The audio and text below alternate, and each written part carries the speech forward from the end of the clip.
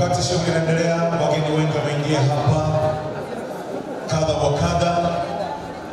Yes, A-list ya mastaa wameingia hapa, na ndipo ambapo pia tunaingia kwenye utungoni wa shughuli yetu, lakini kabla hatujaendelea biharusi Mrs. Aristotle ana dedication ambayo alikuwa akipenda kumgeuza ama kumwambia mmewe wakati huu. Mheshimiwa Mwenyekiti Mwegero yuko nasi, mtambo wako mama, karibu sana, thank you. Lakini Diamond Platnumz pia ameungana nasi hapa, karibu sana.